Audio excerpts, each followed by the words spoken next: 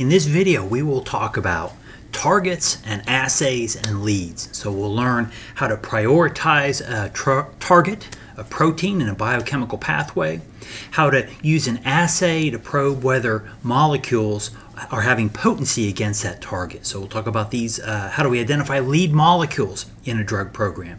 Of course, for this, we'll need to have a bunch of associated terminology, which is listed on this slide.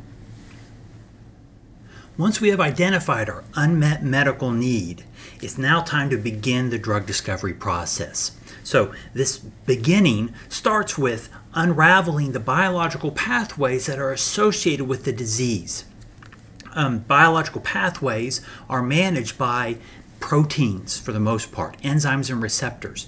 And in theory, if you can block the action of an enzyme or receptor along a pathway, you can potentially have a therapeutic effect on a disease. So on the screen, we have a hypothetical set of enzymes and receptors, potential drug targets, that are associated with different responses, but the one we're interested in is inflammation. As we look at this pathway, we have five different potential targets on the screen.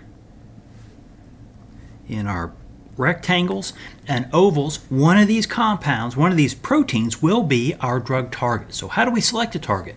Well, proteins connected to just one response pathway are preferred.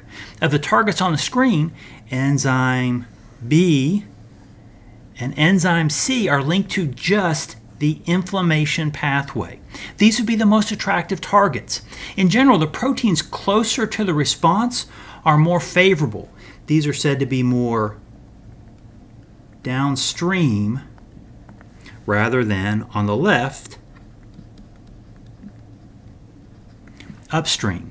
Therefore, enzyme C would be more downstream than enzyme B and would be the top pick.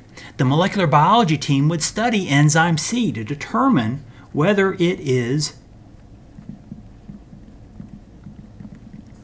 druggable which means it's able to be affected by the action of a drug. Selecting a target is a key step in a target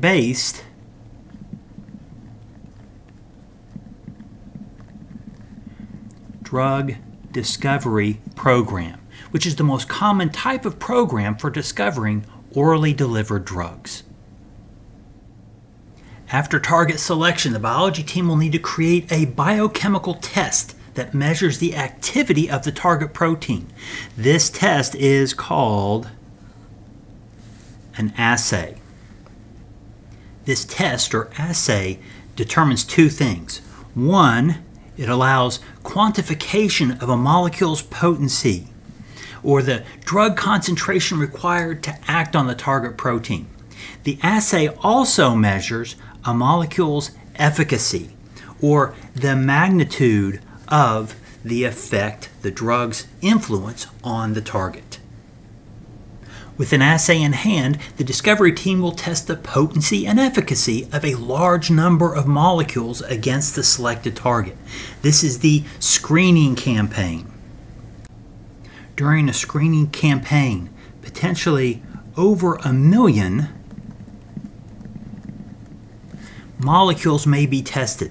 Screening campaigns are often automated to increase speed and reproducibility. At the end of the campaign, the discovery team will have potency and efficacy data on all the screened molecules. The most promising compounds are called hits. A screening campaign may give hundreds or even thousands of hits.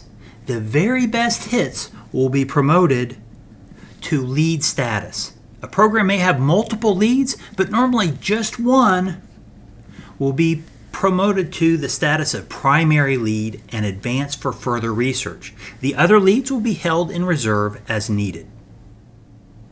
So in this video, we learned about really three key processes. One, we learned about drug targets, how these are the point of intervention to affect a disease. Two, we learned about assays. These are biochemical tests that are developed to see whether we can affect that target. And then three, we use this assay to screen molecules so we can find our compound of interest, our lead compound, to advance in the drug discovery process.